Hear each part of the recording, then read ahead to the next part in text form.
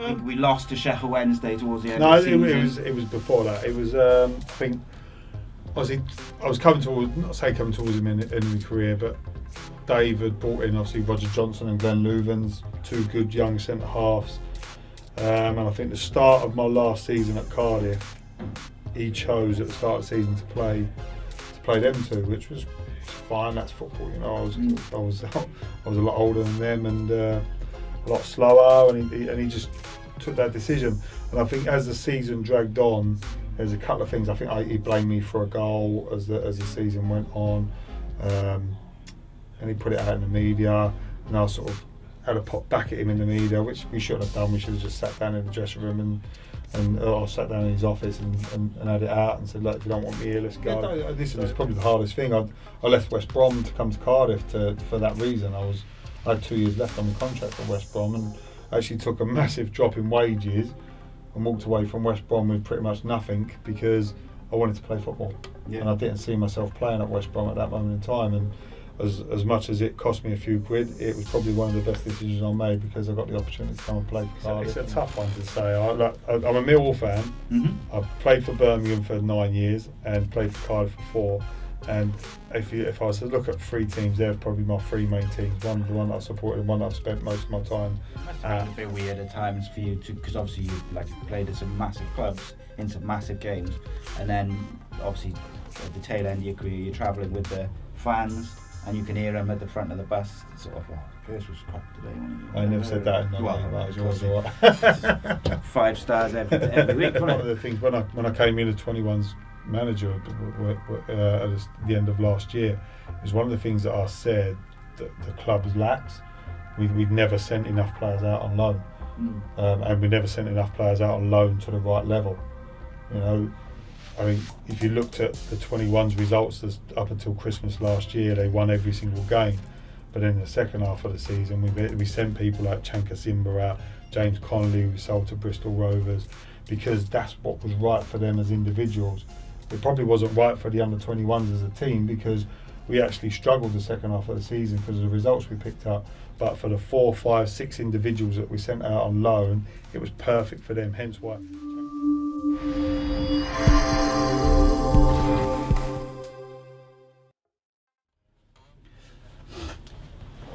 Yes, guys, I'm Si. Welcome back to Ace Podcast Nation. Here for another episode of uh, My Story Extra. And uh, we're here at East Sleep Media again. Delighted to welcome back uh, ex Millwall, Birmingham, Sheffield Wednesday, and of course Cardiff City. And plus Cardiff City's under 23 coach, Darren Purse. Welcome back, my friend. Good to be back, Si. Indeed, yeah, good. I'm, I'm glad to have you back, mate, because I felt like we were just getting going last time, and then we had to. I was like, "Oh, we got to go," because you had to go somewhere, I had to go somewhere, so I was keen to get you back in. But um, we'll kind of fly around a bit, I think, today, and we'll just have a little go back to different points in your career, and I'm gonna hear some stories and that. The one story which I was kind of um, thinking about in the aftermath of we talking, which I wish I'd kind of asked you about, was when. Um, well, it was reported in Wales Online in 2016 or 17, like where you were, you had words with Dave Jones after the the kind of playoff.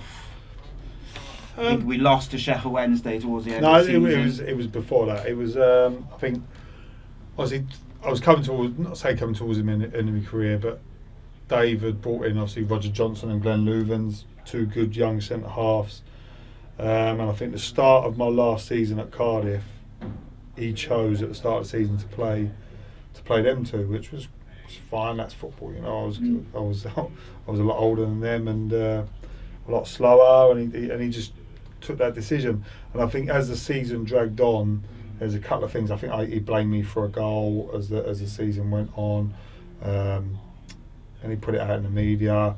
And I sort of had a pop back at him in the media, which we shouldn't have done. We should have just sat down in the dressing room and and or sat down in his office and, and, and had it out and said, look, if you don't want me here, let's go. So we had a sort of, sort of bit of a to and fro in in the media, which is not the right place to to have a conversation. So that was that. And then, um, yeah, and then obviously in the January, I nearly signed for Norwich. I think he was trying to sign Mark, Mark Hudson at the time um, to come in from Palace, and it didn't happen. So I ended up staying around for the second half of the season. Didn't really play that much. Um, and then I think it was after the Preston result. We got we got beat six 0 and that ultimately that was the one that cost us promote uh, or cost us the playoffs. If we lost five 0 we'd have been all right. Yeah. We lost six 0 Preston pipped us by a goal um, after the last game of the season. So I think that was the result that did us.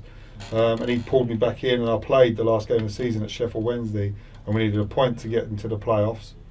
Um, and we got beat 1 0. I remember Jermaine Johnson scored a worldy goal from sort of 25 yards. And we, um, so it was a little bit, it was hard for me because obviously I knew it was my last game, I knew I was leaving, but I'm trying to get the club into the playoffs after of the last few games of the season, not playing a lot for that last real, the, the last sort of, the last, I only played probably 10, 12 games the, the second or the last uh, the, the last season I was here. So from that point of view, I was disappointed because it was finishing on a bit of a low for me. Yeah. But yeah, we, we had words, and I spoke to him since. Like we, we, Mm. he, he's someone that if I if I went into management, I'd lean on because I think he's a he's got a wealth of experience. He's a he was a great man. What he did for Cardiff over the six years he was here, you couldn't fault. I thought he was uh, he was fantastic at what he did. It's just a shame he wasn't the one to get Cardiff in the Premier League, and because he probably deserved it for what he did over the years. Yeah, it was just that final step under him, wasn't it? He seemed to always just get pipped on, you know, from the playoffs or mm, just miss out on the playoffs. It was just unfortunate. But that time, like following as a fan, was um, was some of the most enjoyable times because you had play, playing awesome football, Yeah. some unbelievable players. It sounds like there was just a bit of frustration building as the Yeah, was going I, on. th- I think from from both ends, I think you know from Mm. probably Dave's end and, and my end as well. But at the end of the day, that's what we you, you, you have to you have to deal with it. You take the t- take the rough and the smooth at the same time, and that was probably one of the low points in my career because I still felt I had something to give, um, but never quite got the opportunity in that last year to to probably get a run of games, and um, and I was always one of them players that I needed to play game after game after game, and it was probably only four, five, six games into that run that you probably see the best of me. So from a from a fitness point of view, so I was never one of them that was going to sit around and, and, wait for the opportunity because it wasn't me. Yeah, and I suppose, like with your career now, it, it's like um, the latter part of your career is where football changed from maybe 11, 12, 13 players being the main core of the squad, and you'd kind of have that to really be in like a you know 16 or 18 man squad, Yeah. which people rotate like week in, week out. And if you're a player who, for the first part of your career or a lot of your career, is used to you know just turning games over, it must be quite difficult to then be part of a rotation. Yeah, uh, listen, it's probably the hardest thing. I I left West Brom to come to Cardiff to for that reason. I was I had two years left on my contract at West Brom and actually took a massive drop in wages and walked away from West Brom with pretty much nothing because I wanted to play football. Yeah. and I didn't see myself playing at West Brom at that moment in time. And as as much as it cost me a few quid, it was probably one of the best decisions I made because I got the opportunity to come and play for Cardiff and um, and never look back over the four years that I was there. I, I, I loved every minute of it. So. Yeah, I, I was. I always wanted to. Even towards the end of my career, when I was at Millwall, I was sort of third choice centre half, not getting on the bench on a Saturday afternoon. But I knew if there was one injury, one suspension, I'd be playing but I was frustrated with it. I wanted to play week in, week out. I was getting on. I was 35, 36 years of age, and I just wanted to enjoy the last few years of my career. Hence why I left there and went to, to Plymouth. So, yes, it's probably something. If I look back on my, my career now compared to the game nowadays, I think it's probably the one that I would uh, I'd look back and not regretted because I've never, I don't regret anything, but.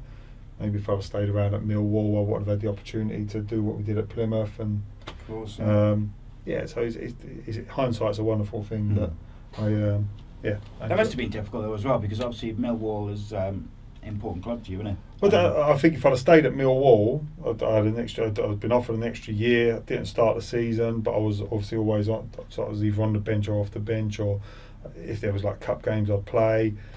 And I could have maybe sort of seen my career out there, nicked another year, and maybe gone into like my coaching side at 36, 37 at Mm. Millwall, my boyhood club. But I still felt that I wanted to play football, and I think sometimes you have to trust how you feel. yeah. Um, I wasn't looking at the long term. I was just looking at yeah. I, would, I just want to enjoy playing for as long as I can. Hence why I dropped to, to non-league. 'cause I, I still felt that I wanted to I wanted Just- to carry on just playing, just enjoy the last few years of my career. Yeah. What about? Um, so I'm going to ask you a, a tough question. It might be. I think it's tough, but maybe it won't be for you. I don't know. Obviously, so Millwall's your club, and You played um, was four years at Cardiff. which club's fans do you think creates a better? At- no, so two questions: which atmosphere is better week to week, and which atmosphere is better on the you know like a big game? It's a it's a tough one to say. I, like, I'm a Millwall fan. Mm-hmm. I've played for Birmingham for nine years and played for Cardiff for four. And if you if I was to look at three teams, they're probably my three main teams. One the one that I supported and one that I've spent most of my time at. And I, they're probably three of the best. They'd be in the top five of all the fans in the country. Yeah. Just for obviously noise, aggression a little bit if you want. They, they, they back their teams to the hill. If you run through brick walls for them, they'll back you. So from that point of view, all three of them were fantastic. I, I, it's a tough, I, I, it's one that I've never really answered. I Yeah. don't think I could answer. You know, on, on any given day, like when I played for Birmingham, I had the, the one of the best atmospheres I've ever had in football was when we beat Ipswich in the semi-final of the Worthington Cup. Mm. It was like one of the most amazing nights. It was up there one minute, down there because we was going out, and then we nicked it in extra time. So if you was to bottle up that atmosphere, but then I remember my first my first game at or my first midweek game at, at Cardiff was Leeds at home, you Mm. know, and we won two one, and you, you bottle that atmosphere from Ninian Yeah. Park up, and you think, wow. So yeah, it's tough, and I've been in the away end and watched Millwall home and away at a few places as well, and actually been in the thick of it as a fan. So I don't think you can. I don't think you can compare that. They're all different. They've all got their plus points, all got their minus points. But I think for me, looking back on my career, I feel privileged to have played for probably f- three out of the best, top five fans in probably in in, in, in the country. It's a good answer, that isn't it? Off the top of your head as well. I think that's a good answer.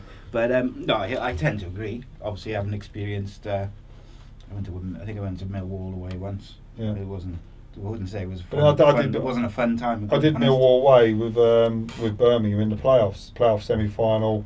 We needed to go. I think we drew at home, and we needed to go away from home and, and beat Millwall for Birmingham, and that was a tough one. I got all my family, all Millwall fans in the in the stands. Obviously, I'm there. I think they all wanted me to, to, to win the game because it was the opportunity to get promoted to the Premier League. But that was the night where we never left the stadium till about two o'clock in the morning. All the Millwall fans had sort of barricaded us into the stadium. they wouldn't let us out. It was um, it was a it was a mad night, but obviously a fun night because obviously we ended up winning it and getting to the playoff final. We beat Norwich in the final, so it worked out well. But that was an unbelievable atmosphere. But then I'm assuming that nights like those, they're special nights, and they. When you look back on your playing career, those are the nights which you remember fondly and and just. Do you know what I mean? Like those types of, um, like the big events, the special days, No, yeah, I- things like that. I think it's mad. You look back at so I look at other sports as well. So if, like the Wimbledon final, and when you've got a ma- when you've got sort of say like Novak Djokovic serving for this like to win the, the, the win the men's singles at Wimbledon, you think the pressure that he's on to to actually just to actually get the ball over the net with Yeah. that much pressure on you is mad. But then I also look back on my my playing career, and you play in front of 80, 90,000 people, and you think, why could you do your job when there's that pressure on you and that, and that many fans on you? I think you just you try and put yourself into that zone every time, and the more you do it, the more you can appreciate it, the more you, the, the, the better you can perform when you're put under that pressure. So it's mad when you do train for something and you do do it on a daily basis that you just naturally just just get used to the pressure and, and what it's like to, Yeah, yeah. to do it on a daily basis.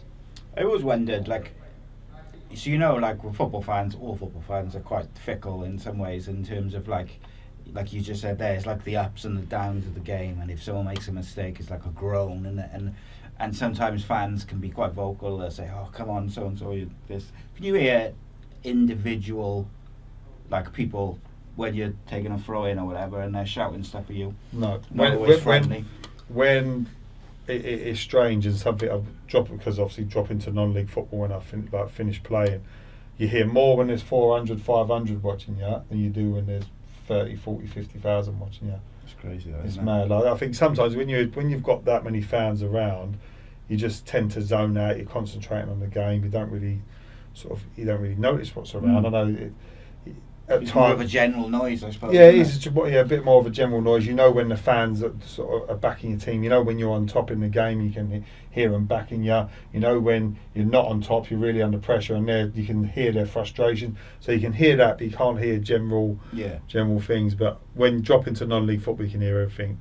Hmm. and purse you hmm. fat, everything hmm. like that, and just some of the names. Why are you still playing? Should be getting your pension? All that sort of stuff. You, you hear everything because there's not that many. Uh, there's not that many fans. It's like little little things like playing. I think I played in a semi, cup, like a playoff semi final for Chesham against Stourbridge, and this this fella came up to like on the side of the pitch. He's like, "Oi, Purse, you scum! You've called my daughter or something or other." I looked at him. I went, "I haven't said anything to you. I don't even know who your daughter is." right? So he's going, "I'm gonna see you after in the in the bar." I went, "No worries, mate." So after the game, I went looking for him in the bar, Yeah, and I went up to him. I said, "What you want to? What if I called your daughter th- th- in the bar afterwards?" He went, "Oh no, weren't you? It was someone else." I went, "What are you having a pop at me for then?"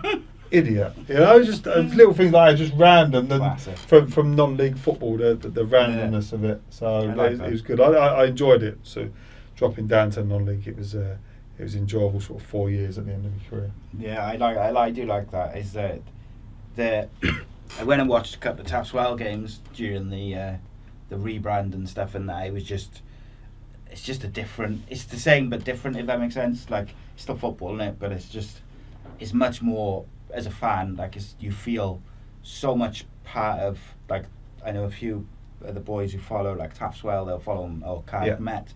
They'll follow them everywhere, Yeah, and Uh, they just. But they they all know the players, and they they kind of they feel more. It's more of a family. Yeah. because you know you you end up where sort of the, the players and the fans end up travelling on the same coach as well. So you'll have the same sort of 20, 30 players, players oh sorry, the same 20, 30 supporters on the coach travelling to an away game with you. So after the game, you've got them, you can hear them murmuring up the Mm. front, this was good, this was crap, all that sort of stuff. But ultimately, there's a massive turnover of players usually in non-league, and all you can say about the fans is is just that they love the football club that they support. Yeah. They're they're just as passionate as the Cardiff fans, the Birmingham fans, the Millwall fans, Plymouth fans. You look at the Plymouth fans, the amount they travel. The, the, the non-league fans do exactly that, but for I don't don't know if it's less enjoyment, but less of the prestige than what the, Yeah. the league clubs do. But they've still they've still got the same passion for the football club, and, and they do it. They do anything for the for the club to keep it afloat. Yeah, hundred percent. It's like community spirit. Yeah, massive. It's huge.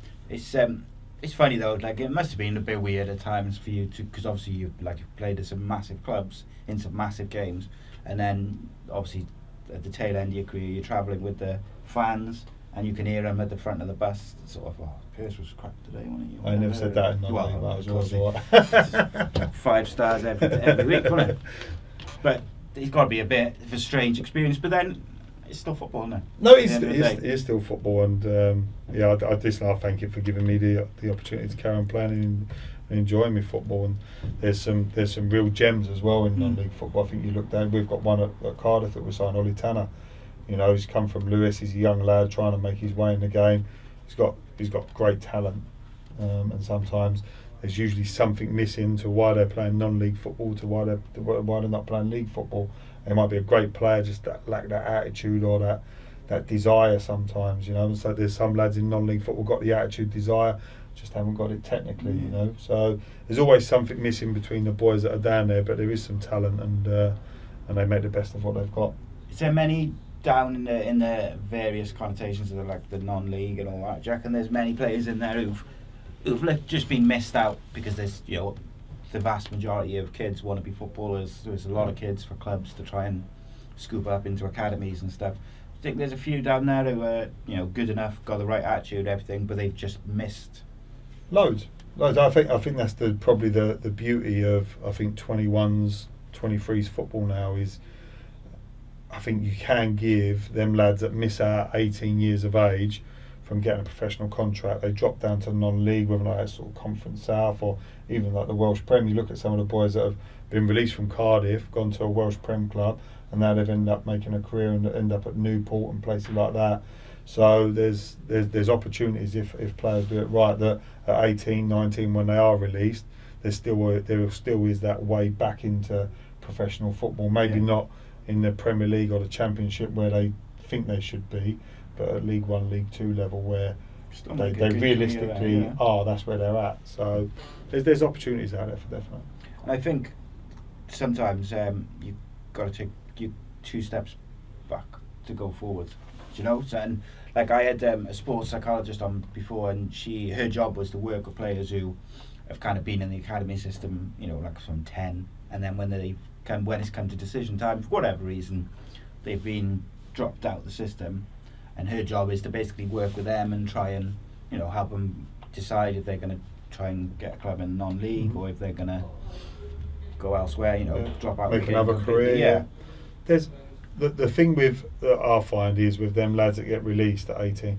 I think they've been in the academy system from 8 to 18. That's 10 years of their life that they've been involved in it, and they take it for granted sometimes. You know, they think, oh yeah, everything's fine. I'll get a professional contract. It'll be good. the just yeah. I've gone from 15s to 16s. I've gone 16s to 18s. I've had me two years. I played every game for the under 18s. But what they don't realise, and it sometimes it takes them to be released. It takes that disappointment from them to actually go away from it, rethink, and go. Do you know what? I didn't grasp that opportunity. Hopefully, I'll get another one, and they're better prepared for it. And um, they sort of sleepwalk into into getting released at 18, 19 years of age. And I think that's the that's the, the, the tough thing you try to instill into into the lads, especially for me uh, within the 21s that I do. You look at the player, who are the players that you you played with last year? Are they still here this year? No. Why? Why was the re- why did they get released? What's the reason they're not here anymore? Mm. Well, don't let that be you in a year's time. You know, and there, there's players. Some players will grasp it, some players won't. Yeah. Players that grasp it end up making a career out of it. The players that don't grasp it have to drop back out.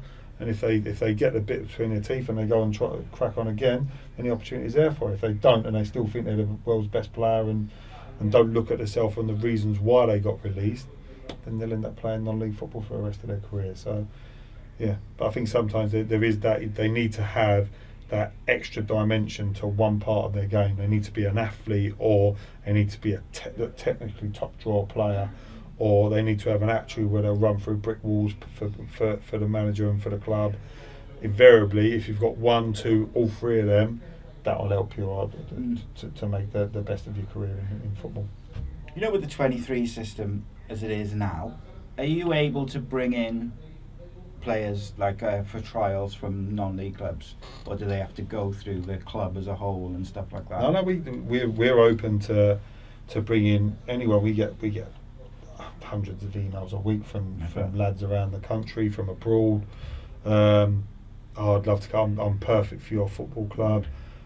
Ultimately, the, the, out of the hundred emails we get, there's probably one of them that is perfect. Yeah. But it's trying to sift through the ones that are not, trying to get the right ones in to, for trial, so you can actually get eyes on them and look at them. Because you're not you're not looking at, at like we said, you're not, uh, you're not looking at how good they are as a footballer. You're looking at them as a person. Are they the right person for, for the football club?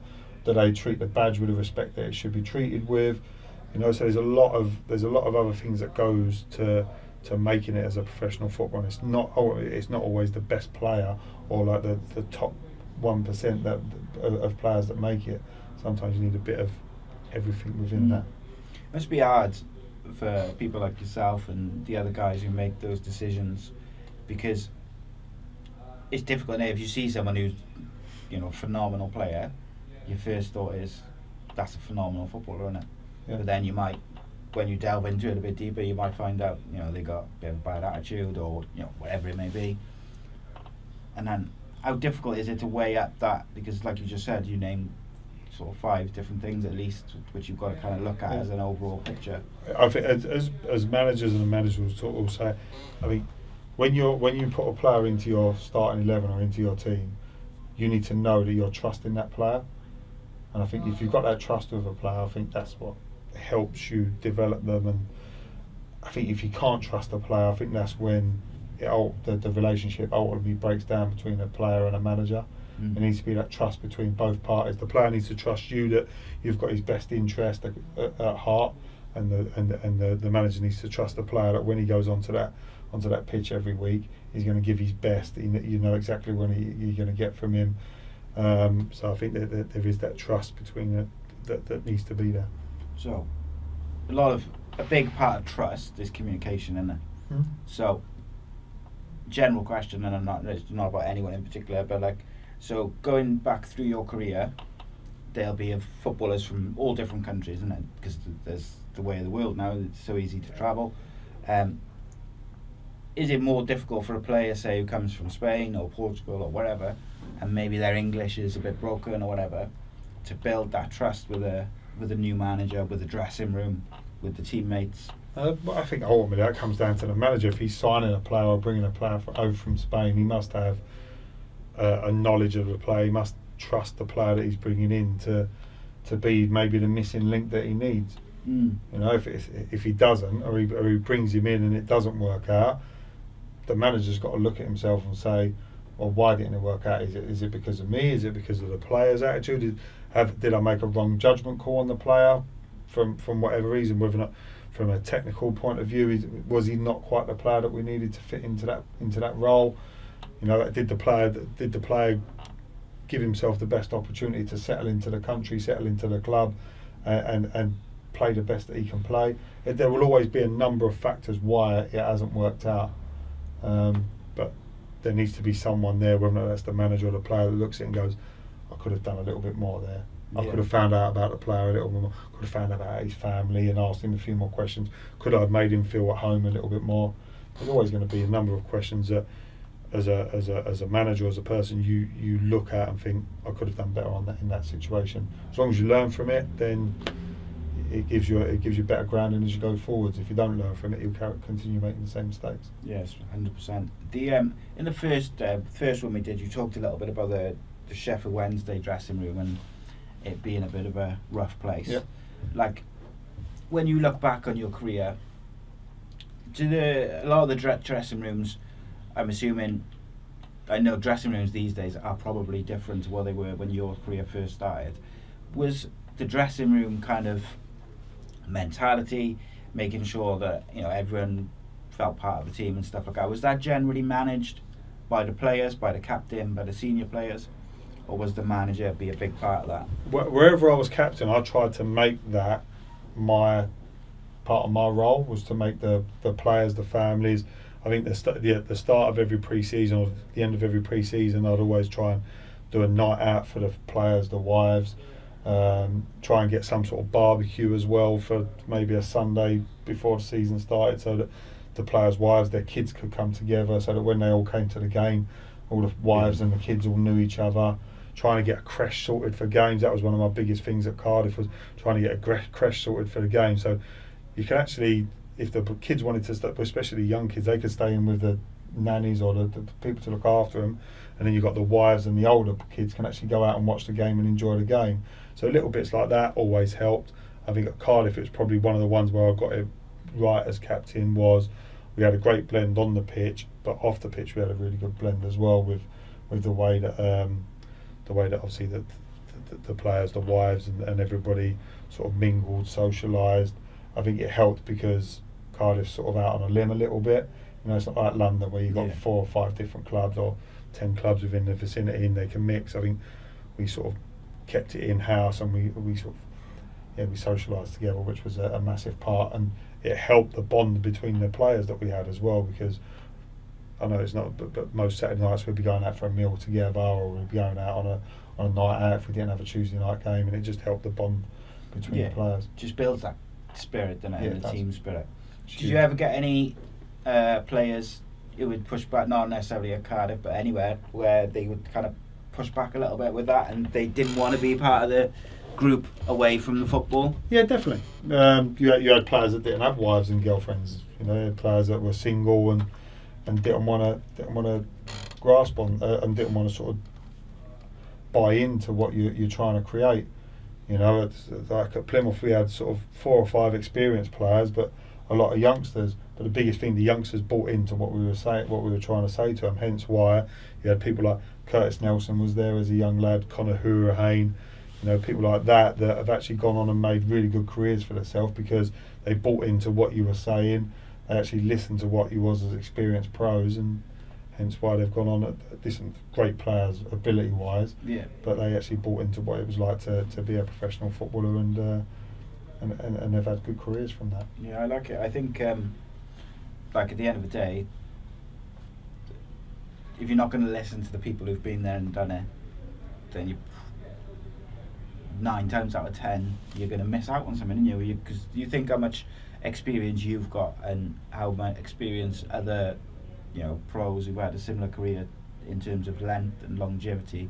If you're not going to listen to those players as a young footballer, it's kind of like we doing. I, I think it's huge. I remember being obviously when I was 17, 18, playing with people like Glenn Cockerill had a really good career at Southampton, you know, and Craig Bear, sorry, Craig Bellamy, uh, Gary Bellamy, who was like at Wolves, and he was, he was I played alongside him as a centre half.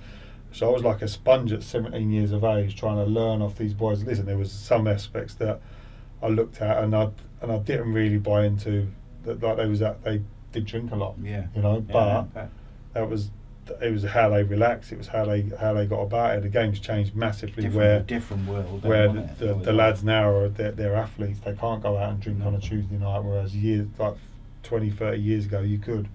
Game was a mm. lot slower. It wasn't as professional as what it is. But there is other ways you can do it, like go and have a game of golf, go and play. If, if the single boys go and have a game of bowling, or go to the cinema together, you're still getting that bonding. You're still speaking to each other, spending time away from it. And I think when you're on the pitch and and the the, the tough moments come, if you're there and you're together and you're a unit and a group, you, you tend to come through them in the right way rather than the wrong way.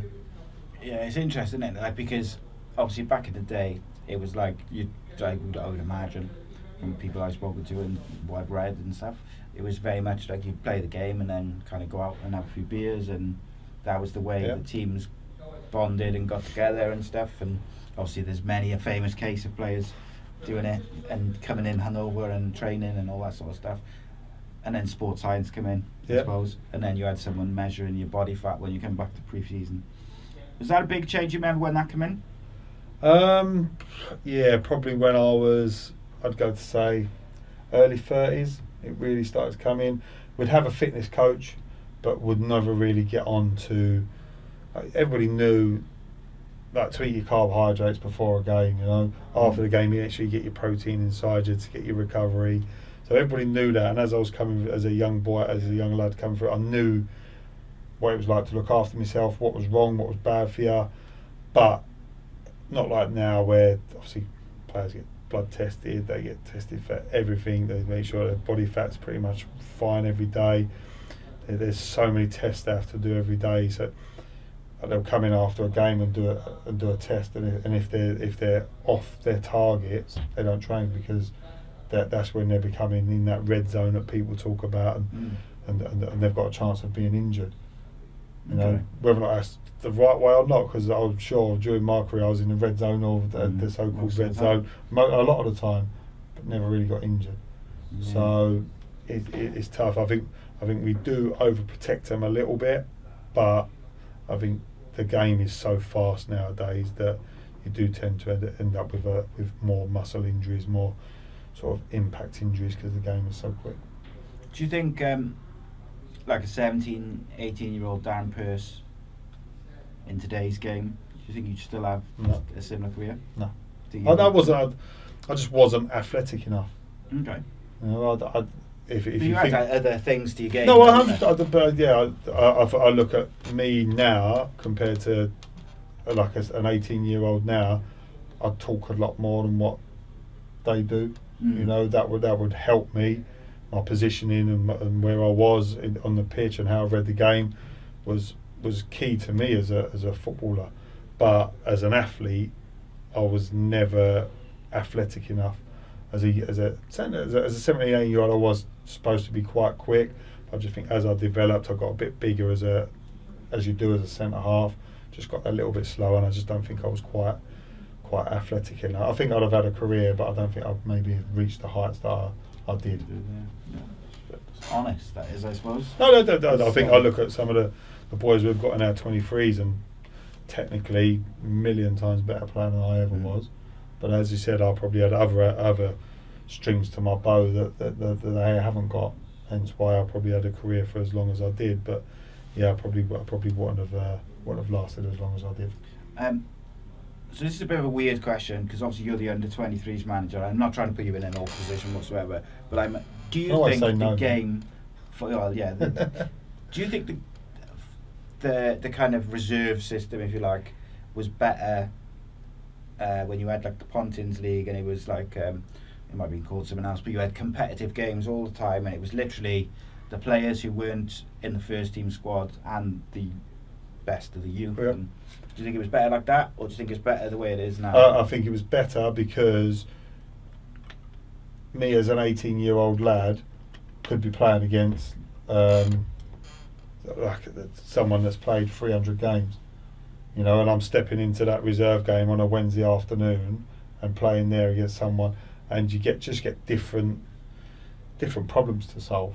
yeah. You know, you make a mistake, don't make the same mistake again. If I got sucked in too too hard, I missed a header. How do I go and no, I don't miss that header again next time? And then back into you, to do different things. You'd be treading on your toes. You'd be getting elbows in your face. Whereas I don't think in 21's football or 23's, you don't really get that. It's, Yeah. it's, you don't get that competitive. Uh, uh, it's not as competitive for what it needs to be. But then on the other, on from the other side, I think in 21 to 23, you do get like in possession stuff like rotations, teaching the boys how to just like the Christmas they're passing, making sure their ball speed's right. Technically, they're a lot more advanced as footballers as what they as what they were as what we were as 17 year olds, but they just lack that competitive edge and, and playing against seasoned pros. I think that's the the biggest difference, and I think you learn more. That's hence why we try and send boys out on loan. They'll learn more from a six month loan spell, playing as high up the pyramid as they can, than they will for playing from six months as a as just a, as a, against in kids their own 21 age. football. Or, Yeah. Like, yeah, I can definitely see that. I think uh, the loan system, like people moan about it, don't they, and say, "Oh, everyone's got twenty players out on loan," but actually, the loan sys- system's vital now, isn't it, to the to the young footballers, because without it, like you say, you've got the twenty threes, but if you haven't got the the loan system as open and as good as it is, and as you know, you can pretty much find a football club for uh, for good players, Yeah. can you? Um, it's without that you lack that I think it was one of the things when I when I came in as 21's manager uh, at the end of last year. It was one of the things that I said that the club lacks. We we'd never sent enough players out on loan, Mm. um, and we never sent enough players out on loan to the right level. You know, I mean, if you looked at the 21's results up until Christmas last year, they won every single game.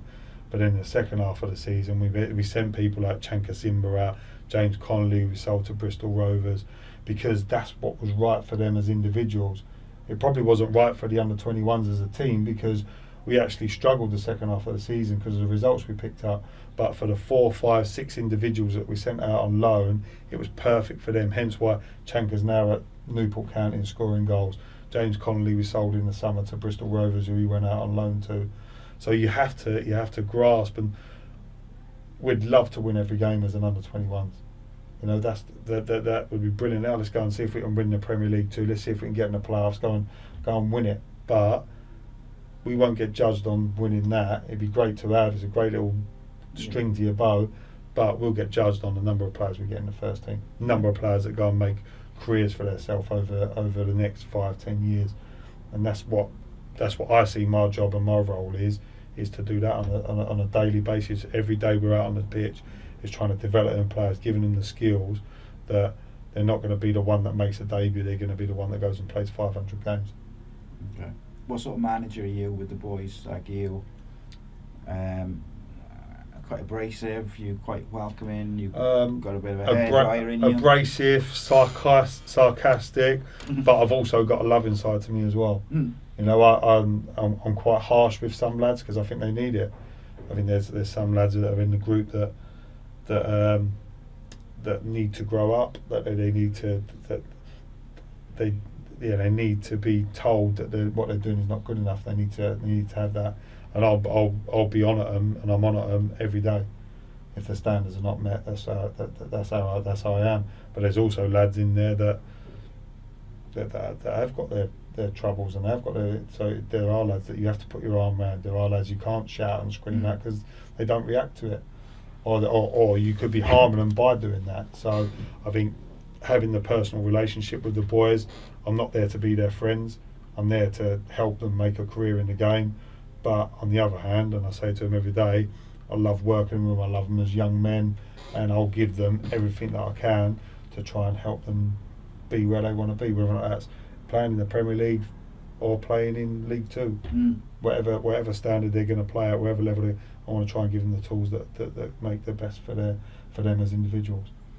And I suppose you've got 16 or 18 Got 14 young in a men, minute, 40 mate. all right, Come on. 14 young men who like are still finding themselves as human beings as well, aren't they? Oh, know? 100%. They, they and they're know. like um, yeah. some of them might re- respond to this, some of them might respond to that. You just don't know, you? And it, it's managing those personalities, but whilst also keeping the the levels high, I guess. And Yeah, the, the, the, the big one as well is managing the personalities within the group as well. Mm. Uh, we've had we've had a couple of lads that are sort of the real ones that every half time they're the ones that are coming in throwing their bottles on the floor, whinging at a few of the other boys in, in the Mm. dressing room. And I'm like, just calm yourself down, think about what you're doing, don't get involved in other people and say, but also say it in the right way. yeah. Don't say that it's your crap and say, could you have done this better? So there's a way to say it as well, so that you actually get the person you're speaking to to think about what they've done or the mistake that they've made, rather than chastising them for it and, and, and, and actually putting them in a really bad place going out for the second half for the next game. And they're on edge. So and yeah, so th- and I, and what you've said there is, is is a big one. Is if you're if you're encouraging the team to go and play, be expansive, be good in in the ball, try and break lines with passes, um, be patient, build up play. When they do make a mistake and they do give the ball away in the wrong area, you can't hammer them for it. You've got to say you've got to say to them, "Look, do it again. But when you do it again, was it the right pass you played the last time? So you actually question about every mistake or every every pass that they make. They're actually questioning it. Was it the right pass? Was there a better pass on? So they're actually thinking about their game rather than just going through the motions with it all. Yeah. Do they do they rewatch every game? Um, this is another thing about the professionalism. Some do, some don't. Okay.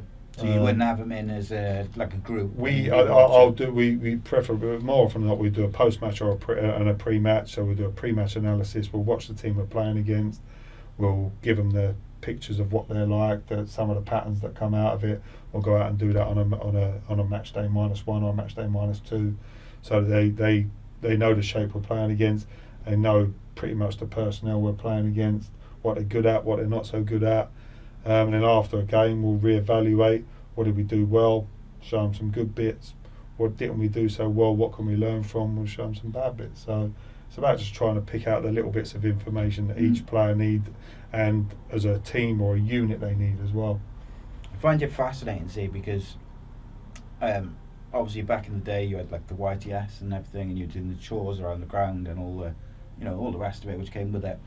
It's very, very different in that to the 18, 19 year olds which come into the game now.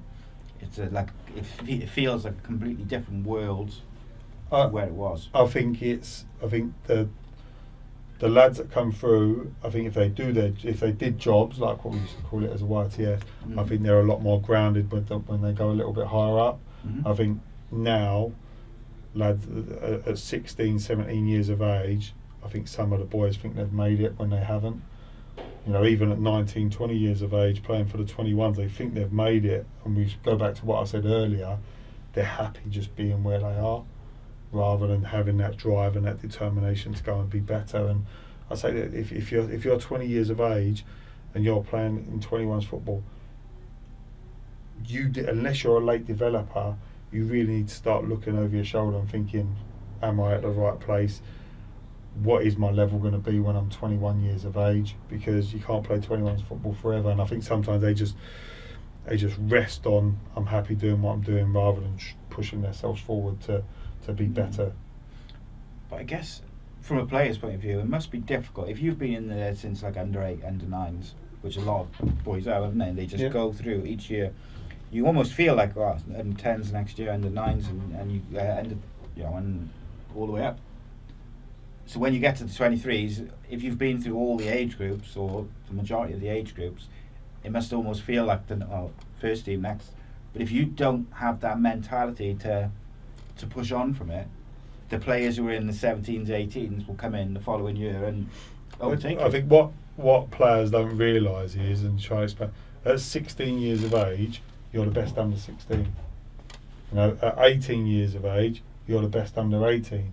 Once you get to 19, 20, you're not the be- you're not the best player because you've got a 28 year old you're playing up against, Mm. and they don't realise that. They look at the players that they're playing with within their group and they think, I'm the best player in here. No, I'm the best midfielder in this group. But what they don't realise is 91 other football clubs that are around there Yeah. that have got midfielders that are thinking exactly the same, and they're in the big bad world of of, of football. And it's it's that I- I, I think that step that step up from from probably I'd say from 16 into 18s football and into, into 21s up to the first team is the biggest step ever because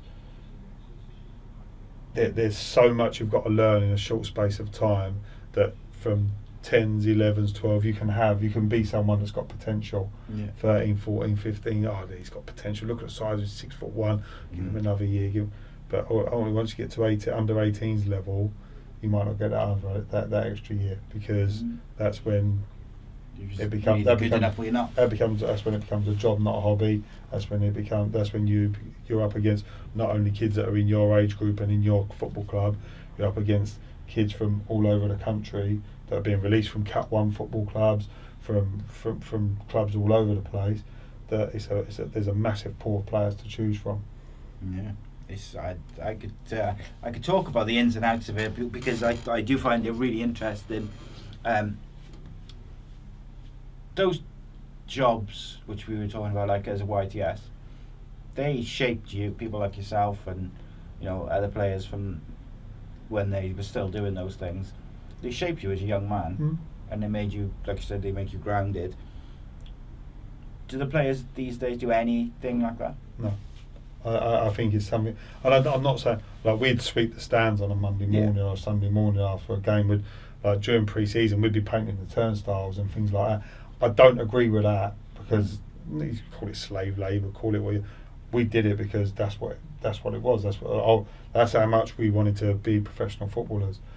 I think things like doing the first team players' boots, I think is a huge thing because I think it gives the the, the, the players a it gives them a relationship with a, with a professional, um, but also they've actually got to go and earn the right to have somebody else to do their boots. Yeah. Do you understand what I'm saying yeah, by yeah, that? I do, yeah. Like when when I was a when I was a, a YTS and I was quite lucky. I only I only did it for a short space of time, but I'd pick up the you'd pick up the sweaty jockeys, you'd chuck them in the skip van, take them down to the laundry, but you did it and you thought, "Do you know what? In six months' time, a year's time, somebody else is going to be doing that for me. Mm. I'm going to work so hard because that's just like the the icing on the cake of being a professional footballer. And I think sometimes nowadays they don't that the, the young players coming through don't realise how hard you've got to work to to be and how hard it's going to how hard it is to, to be a professional footballer. Do they um so do players these days, like young footballers now, they have to clean their own boots and stuff like that? Invariably, we, we, obviously we've got kitmen to do it. Yeah. But I think when you talk about cleaning your boots, years ago you'd be in the boot room with a boot and polish, Yeah, and, of and course. the players don't wear black boots anymore, do No, they? Basically, just chuck them under a shower, job done, they're clean. They're, you know what I mean? It's not Mm. it's not like what it used to be. Yeah. At the end of a training session, we'll come out and they'll just shower their boots off. off and they're done. Mm. So it's not really that much of a big thing, but I just think sometimes it just gives the players, and it would be hard at Cardiff. We probably couldn't do it because our under 18s and our first team are on different different venues, Mm. you know, different different campuses. So it would be hard to implement it, but I think it's something that I, th- I think it, it it wouldn't go amiss from from Yeah. being involved. It gives the players that little bit of responsibility for something, and I think it also gives you gives the young players a relationship with a with one of the pros that they can ask questions. Am I doing this right? If they're in the gym together, it just gives them that little bit of a personal relationship where they can because you'd usually do it position specific. So you'd put a centre, central defender with a central defender, centre forward with a centre forward, goalkeepers do the goalkeepers. So there's that relationship as you're going forward. Do you think if you tried to bring that in, not just at Cardiff, if any club tried to bring that back, there would be any pushback? Um, I'm sure there will be. Um, the pushback would come from the players that get released. But that's it, the pushback would come. The, the, that's like the parent. That, no, that's it, like the parents. parents, the agents, and that. The pushback would come. Why are you making my son clean the boots? Mm. You know, I, I don't think he will ever come back in. is is football lesser for it? Yeah. But I'm just thinking from me as a as a person, from a, as a personal point of view, I just think it, would- it, it I think it's a good thing. It gives you it gives you grounding and it gives you it gives you like some personal responsibility and a, and a relationship with the, the, the players that you're aspiring aspiring to be. Mm. Do um do any of the twenty threes would they ask to go out on loan or do they wait for you to say Um, yeah, that, that we- have conversations with. with I, I I have conversations with players all the time, and there's players that it's right for. There's players that it's not right for. Mm. There'll be players in in the 23s that that all want to go out on loan and think it's the right move for them, but I I won't. You know, and I'll, I'll have that conversation with myself. We'll have the conversation with the manager. We'll, we, we- it's all about that communication and doing what's right for each player. Ultimately, over over over a course of a season or a couple of seasons, if you've got a first year pro, second year pro, over that course of two seasons, they should be out on loan for probably six months. What hurts Cardiff is we have to send players out for six months. So we'll send a player out at the end of the August transfer window and they can't come back to us till January. The same in January, they can go until the end of the season, but they can't come back. If you're going England to England clubs, you can send them out for a month. So you could send you could send a young lad out for a month to a Conference South club, a conference club, watch him for a month. He'll come back in, and you think, do you know what? He's done really well there. Let's go and step him up to the next level. So they could actually have three loan moves over the course of six months, where he's gone Conference South, Conference, maybe even in, into League Two over six months. Whereas we have to send our players out to Conference South, and they've got to be there for six months, come back, then they have to go out for another six months, maybe to the next level.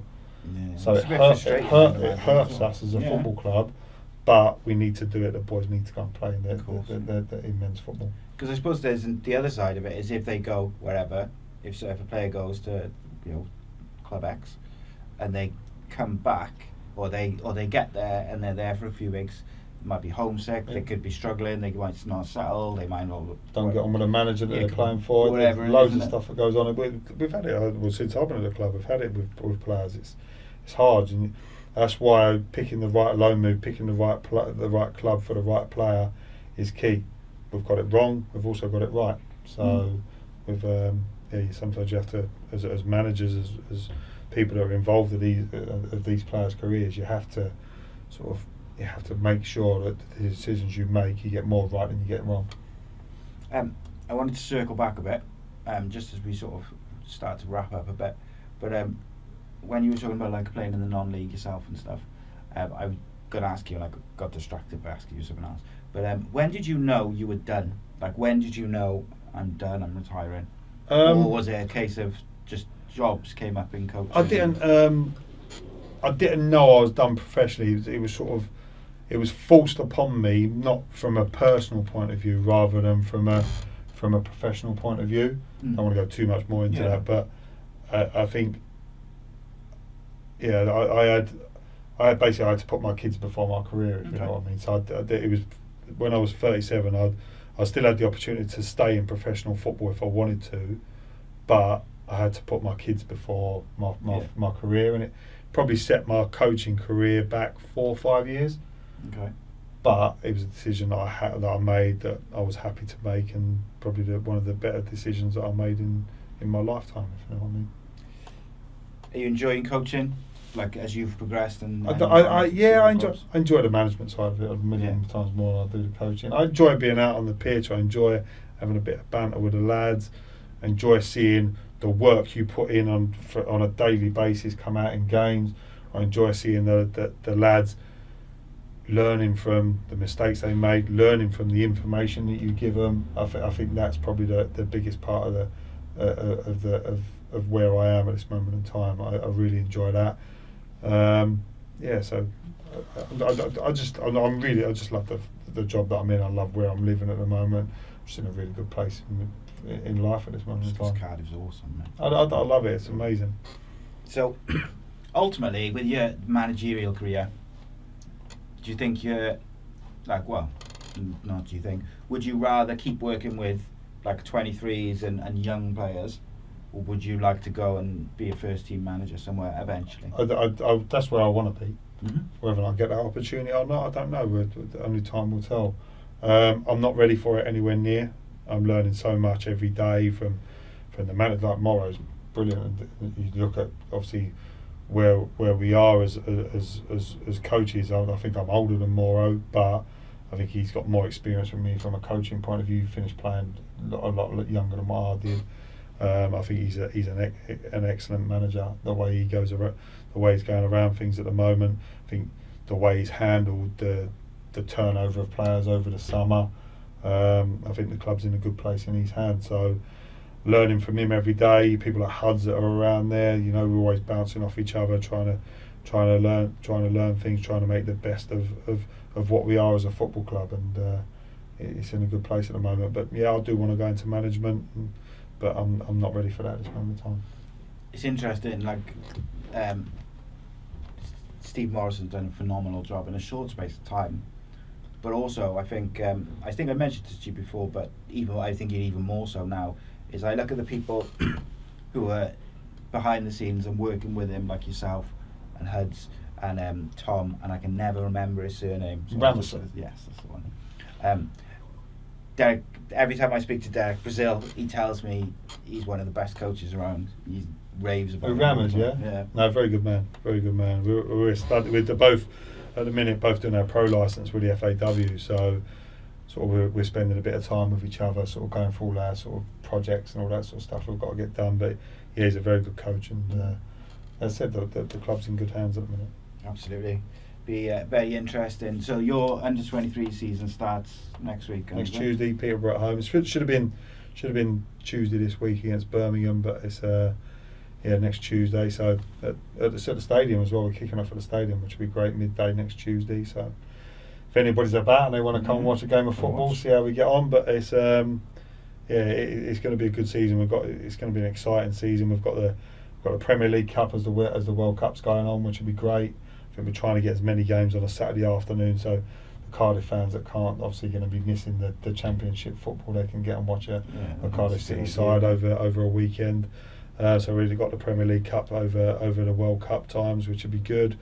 Um, just an exciting season. We've got some really good young players within the group, like people like Joel Colwill, Rubin's brother. He's um, he's only a second year scholar, but he's up playing with the 21s already. So for him, he's uh, he, he- he's a he's a bright talent. People like James Kroll, Jack Leahy. There's there's a lot of lot of talent coming through the uh, through the 21s at the minute, and uh, hopefully uh, over the next uh, next six months, next year, there'll be a few more debuts. That's the way. That's the way. Um, just last question. Obviously, um, are England going to qualify out of the group in the World Cup? Because they're obviously not going to finish top of the group, are they? So it's going to be. A I've got a bet, I've, I've got a bet with my physio about this. Yeah. Obviously, you beat us at the um, the last was the Yeah, last World Cup. You finished the above Euros, us, didn't you? So I don't know. I'm- Tough group. It is a tough group, but I think England will win it. Well, they should. They, well, they, they They've got more players Don't- to don't select from start putting any pressure other on them. You know what I mean? It is what it is. So, you know, uh, listen. I, are England going to win it? I very much doubt it. Have England got a chance to win it? Yeah, of course they have. Will Wales win it? I very much doubt it. But they've got a chance of getting through the group and making a making making a summer of it or making a winter of it out in Qatar. It's So be weird, it? it's, it's good, but I, I, I go back to I, I was at the um, the Austria game. I went and watched the Austria game uh, at, at the Cardiff City Stadium, and when we spoke earlier about atmospheres, that was one of the best atmospheres I've That's been incredible. in. It was unbelievable. I'm not Welsh, but I felt so I felt proud of you know listening Mm. to the songs that were being sung and the national anthems, and now I looked at it and thought, fair play. It was uh, it was uh, it was decent. Yeah, it's going to be good. Um, Darren, I appreciate you coming in again, mate. It's My been, a pleasure, uh, Si. It's an been good. pleasure. I really enjoyed talking about coaching and that today. Yeah. Didn't know where it was going to go, but uh, I'm glad it went there. That went all right. That was good. Good. No, I appreciate it, mate. And uh, best of luck for the season. Cheers, Si. And uh, oh, that's the other thing. So, like last year, the under 23s obviously they won like a lot of games. Would you rather? Would you rather, at the end of the season, say I don't know, like four of the players from your squad at the start of the season now, be in the first team, or would you rather win the Premier League two? Is it? I'd rather four of the boys be in the first team. I don't know. It's not about for me. You say I've won, I've won the Premier League two. Mm. I'd get more pride for sitting and watching. Like I look at the game on, on Tuesday night with, with Jason Menio coming onto the pitch. And I look back at that and I think, you know what? There's one that we've sort of semi got through. He's got a long way to go, you know, from where he from where he started from. But I look back at that and I, I get more pride from that than than where we are. Yeah, so I'd, I'd rather see four lads go through and uh, and play.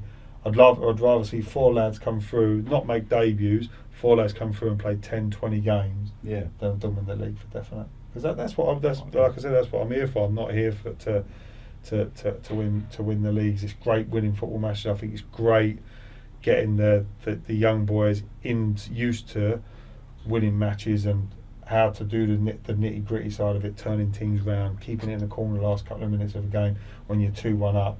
So they need to learn how to win football matches, but that's not what we're going to be defined by as an academy. We'll get defined by the number of debuts.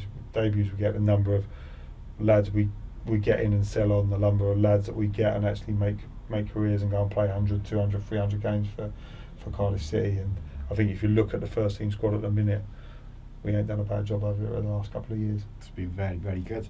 Very good. Right, cheers, mate. No Appreciate it. Um, guys, check out, uh, we've had Cardiff City first team coach Mark Hudson on recently mm. and Mehmet Dalman, Cardiff City chairman. So I'm just running through with the, all the different uh, people. But uh, no, I appreciate it. Like, subscribe, all that good stuff. Cheers, guys.